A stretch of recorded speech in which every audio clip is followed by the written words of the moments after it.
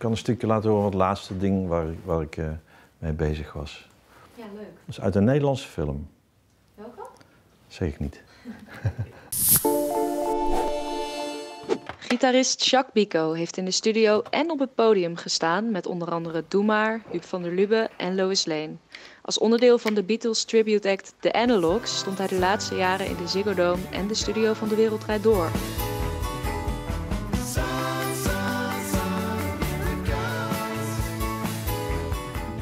Maar die optredens liggen sinds maart vorig jaar natuurlijk stil.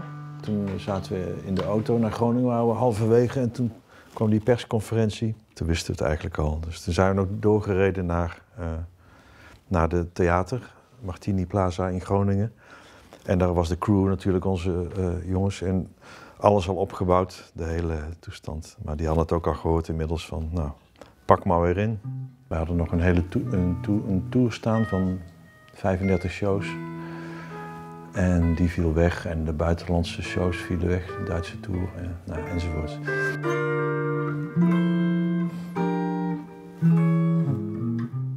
En sindsdien zit Jacques dus thuis. Maar wat doet een voltijdsartiest die ineens alle tijd van de wereld heeft? Die gaat gewoon door met muziek maken. Ik vond het leuk om eens een nummer te pakken, bestaand, bestaand nummer. Dat helemaal ombouwen naar gitaar. Dus alleen maar, alleen maar gitaar, geen zang of iets. Uiteindelijk op Facebook gezet en kreeg ik veel leuke reacties op. En daar ben ik, uh, ben ik weer een andere, heb ik weer een ander gepakt. En ik heb er tot nu toe een stuk of tien, heb ik er inmiddels zeker. Ja.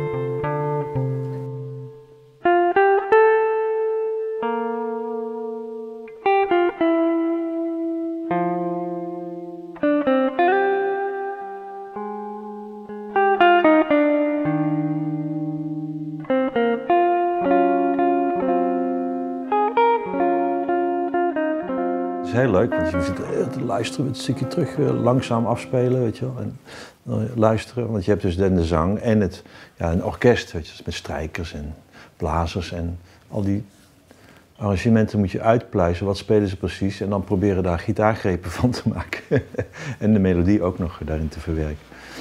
Maar dat is heel leuk. Ja, heel leuk om te werken. Dan zit ik s'nachts, ben ik daarmee bezig, weet je wel. En doe ik dan een soms een maand over, over, één, over één stuk.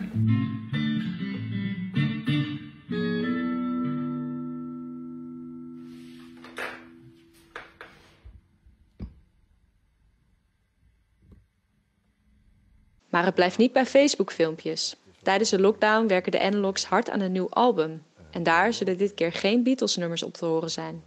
We zijn dus in, uh, uh, 2020 uh, begonnen met het schrijven van eigen liedjes. En nou, dat, gaat, dat gaat heel goed. Ieder is, ieder is voor zich bezig. Of we doen een beetje mixen, die met die of die met die.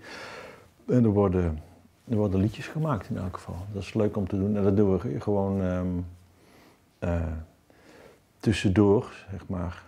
Wat zijn jullie inspiratiebronnen? Nou ja. Um, um, house. Um, nee, natuurlijk. We, we, we, zullen putten uit de jaren 60 en 70. Jaren 70 vooral, denk ik.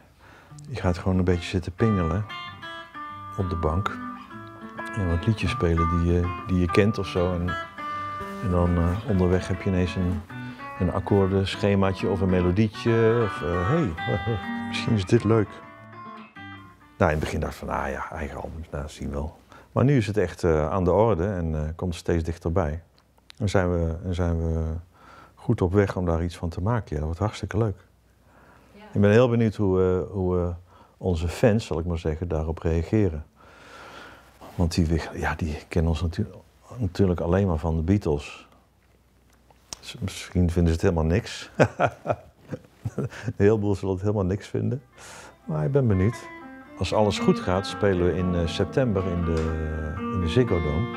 Dus dan moet hij klaar zijn. Dus we willen dit uh, in de zomer opnemen. Zodat hij uh, in september mee kan met, met, met de show, met de tour.